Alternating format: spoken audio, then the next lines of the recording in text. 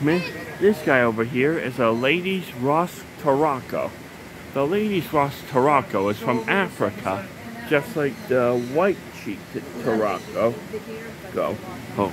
Turacos are known for their beautiful feathers, feathers, and they love to, to eat fruit, pick fruit from trees.